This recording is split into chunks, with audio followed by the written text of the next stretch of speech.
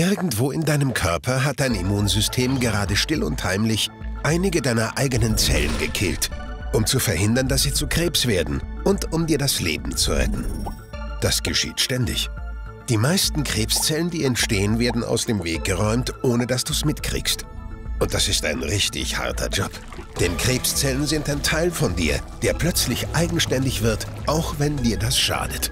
Was ist Krebs eigentlich und wie killt dein Körper ihn ständig?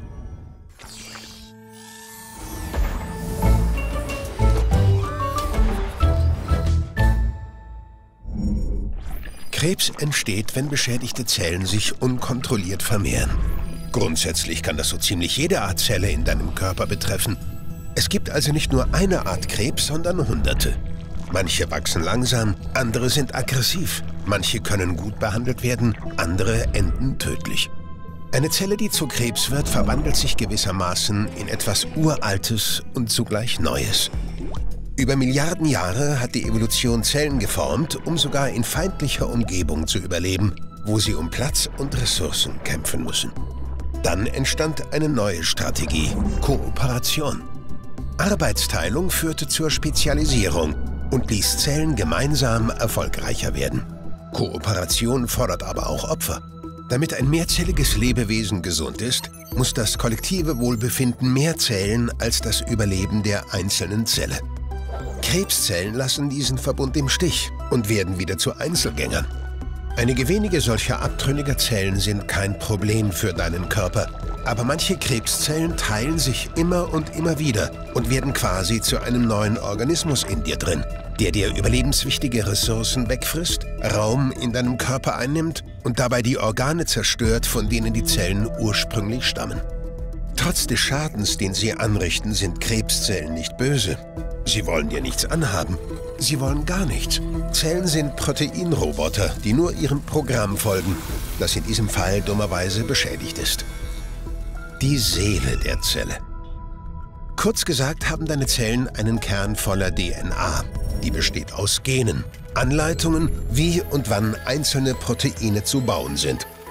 Diese Baupläne werden kopiert und auf Ribosomen übertragen, die damit Proteine herstellen. Welche Proteine eine Zelle macht, entscheidet, was die Zelle tun kann. Wichtig ist, dass ein beschädigtes Gen auch ein beschädigtes Protein zur Folge hat. Das kommt später wieder ins Spiel. Deine DNA wird zehntausende Male am Tag beschädigt. Sie mutiert. Meistens ohne speziellen Grund. Das ist einfach das Leben. Fast alle dieser Mutationen können sehr schnell repariert werden oder sind eh kein Problem. Aber deine Zellen kopieren sich ständig selbst und mit der Zeit sammeln sich Schäden an. Stell dir vor, du müsstest jahrzehntelang Kopien von Kopien von Kopien machen. Vielleicht lag mal ein Haar auf dem Scanner oder eine Ecke ist eingerissen. Jeder neue Fehler wird Teil der neuen und aller folgenden Kopien. Manche Dinge verschlimmern den DNA-Schaden, etwa Rauchen, Alkohol, Übergewicht, Asbest einzuatmen, keinen Sonnenschutz zu benutzen oder sich mit einem Virus wie HPV anzustecken. Aber der einfachste Weg, DNA zu beschädigen und Krebs zu kriegen, ist lange genug zu leben. Für viele Krebsfälle gibt es keinen anderen Grund als Pech gehabt. Der Schaden, der zu Krebs führt. Das ist zwar vereinfacht, aber grob gesagt müssen drei Kategorien von Genen beschädigt werden, damit Krebs entsteht. Die erste Schlüsselmutation betrifft die sehr passend bezeichneten Tumorsuppressor-Gene, kurz TSG, Sie haben verschiedene Aufgaben. Unter anderem schaffen sie Kontrollmechanismen, um deine DNA kontinuierlich nach Schäden und Kopiefehlern abzusuchen und diese direkt zu reparieren. Und sie verhindern, dass normale Zellen sich wie wild vermehren. Werden TSGs beschädigt, vergessen deine Zellen quasi, wie sie sich selbst reparieren und multiplizieren sich haltlos. Die zweite entscheidende Mutation passiert in deinen Onkogenen. Werden Onkogene aktiviert, heißt das für die Zelle, sich ganz schnell zu vermehren. Onkogene waren super aktiv, als du noch im Mutterleib warst. Damit aus einer einzigen Zelle in wenigen Monaten Billionen werden, muss sich diese Zelle schnell teilen und vermehren. Bestehst du aus genug Zellen, werden die Gene für schnelles Wachstum wieder abgeschaltet. Werden deine Onkogene beschädigt, schalten sie sich aber quasi wieder ein. Die dritte bedeutende Mutation betrifft den Selbstmordschalter in deinen Zellen. Die meisten Zellen werden ständig erneuert. Ist eine Zelle zu stark beschädigt, bemerkt sie das normalerweise. Dann lösen spezielle Gene eine Art kontrollierten Selbstmord aus, die sogenannte Apoptose. Werden die Gene, die diesen Prozess steuern, beschädigt, leben Zellen weiter, auch wenn sie gefährlich beschädigt sind. Wenn eine Zelle also die Fehler in ihrem Gencode nicht mehr reparieren kann, die Fähigkeit verliert, sich bei übermäßigem Schaden selbst zu zerstören und ungehindert sehr schnell wächst, wird sie zu einer jungen Krebszelle. Diese Zellen müssen so schnell wie möglich aus dem Weg geschafft werden. Sie sind in diesem Stadium bereits gefährlich, aber noch ziemlich schwach und leicht zu bekämpfen. Mutieren sie aber weiter und werden immer mehr, können sie lernen, deine Abwehr zu umgehen. Dann werden sie zu einer echten Bedrohung. Dein Immunsystem ist jede Sekunde deines Lebens auf der Jagd nach solchen Zellen. Aber wie kann es beschädigte Zellen erkennen und töten, die von gesunden Zellen scheinbar nicht zu unterscheiden sind? Wie man Krebs findet. Tja, jetzt kommen wieder die Proteine ins Spiel, die von deinen Zellen zusammengebaut werden. Wenn sich zum Beispiel deine Onkogene wieder einschalten, baut die Zelle Onkogenproteine. Dein Immunsystem weiß, dass es die im erwachsenen Körper nicht geben sollte. Um zu wissen, welche Zellen beschädigt sind und welche gesund, muss dein Immunsystem also wissen, welche Proteine sie in ihrem Inneren herstellen. Dafür hat sich die Evolution die MHC-Klasse 1-Moleküle ausgedacht. Sie sind quasi Schaufenster, durch die eine Zelle transparent wird.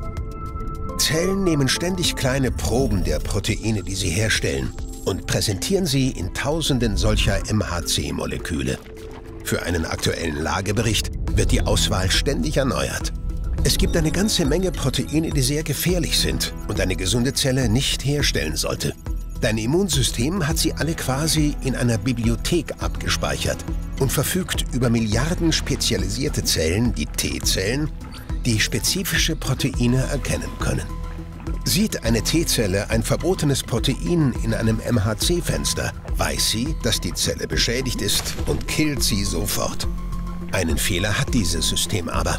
Was, wenn eine Krebszelle mutiert und es schafft, diesen Prozess zu umgehen?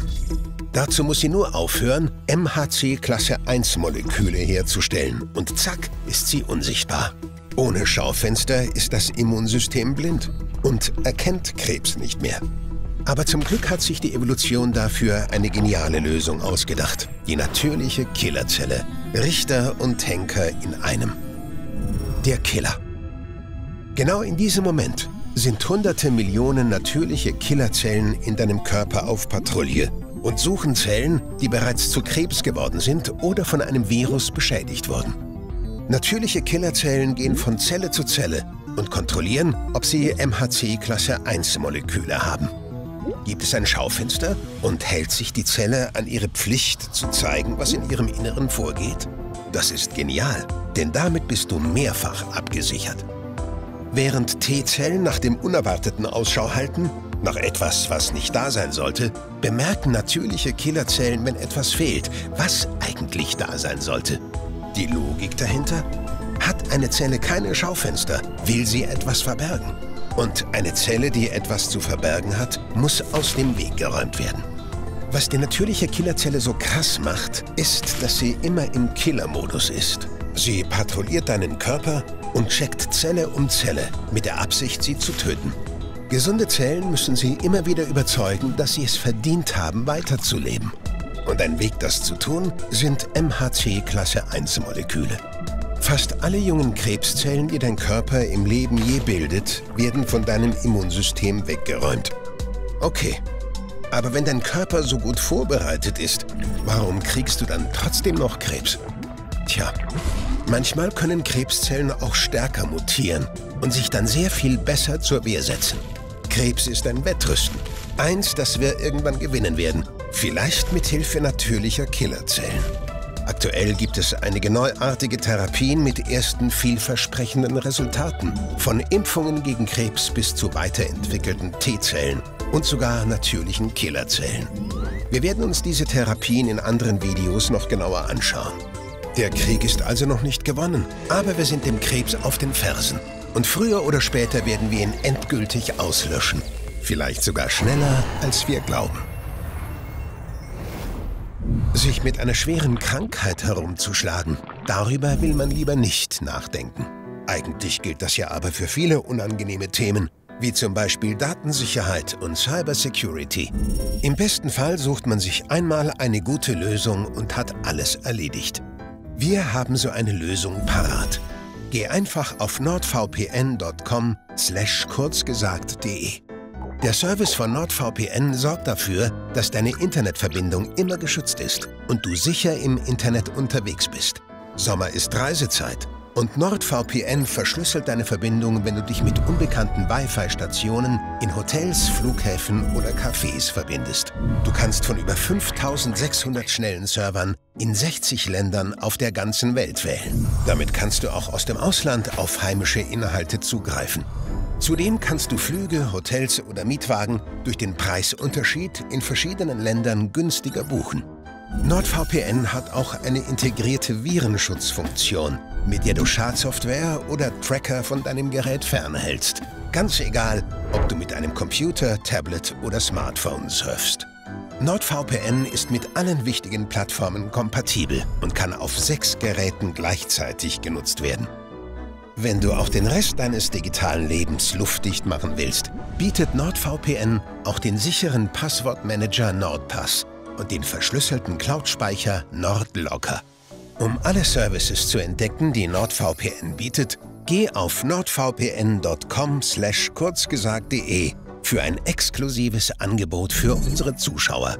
Alles risikofrei mit der 30 Tage Geld zurück Garantie von NordVPN.